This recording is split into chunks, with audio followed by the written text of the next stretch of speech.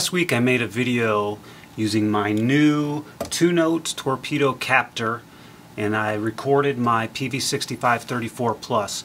So after doing that I thought well let's see how it works out with the dual rectifier.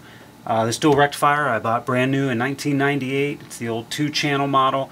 Sounds really great. I have um, EL34 tubes in it and it's basically the same signal chain I used in my last video where I had my Solar guitar, EMG81 at 24 volts, into my Earthquaker plumes, into the front of the amp, out of the speaker output, into the, the two notes torpedo captor, and then into Pro Tools.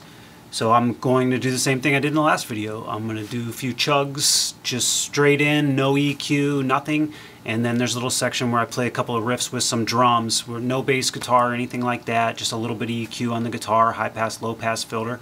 So check it out.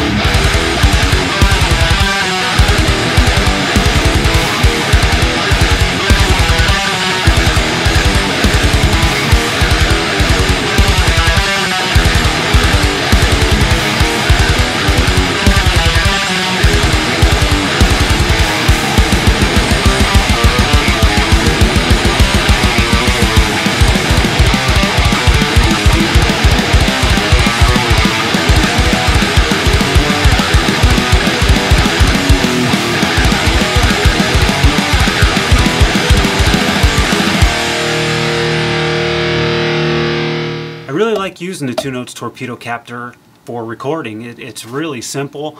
I'm still kind of experimenting. I'm using the same impulse responses that I used in my last video. So, you know, there's just endless impulse responses you can use out there to get a different sound or sound you may like better.